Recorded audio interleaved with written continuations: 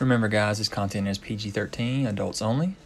What's up, guys? It's ZacJacDan with another NECA video. This time we're talking about the Gargoyles and Goliath figure that NECA has just revealed and put up for pre order on sites like Big Bad Toy Store. This Goliath figure is massive. Got a book, another face sculpt, and a pepper here. Here's your little write up on what they have 8 inches tall, 16 inch wingspan, nice articulation too. Those toes, those fingers that calm face sculpt there. We'll zoom in on that.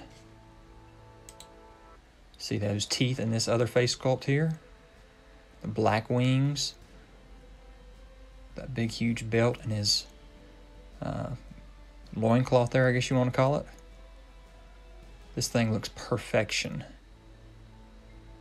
I can't believe how NECA has done this. And are they going to do the rest of them? You know, we're going to get a full line of Gargoyles figures.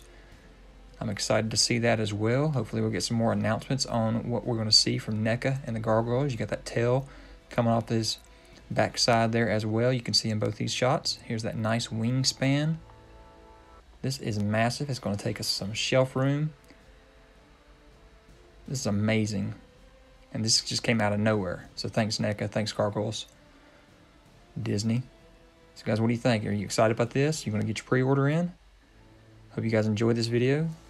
Talk to you guys later. And don't forget to check me out on Pinterest and Instagram.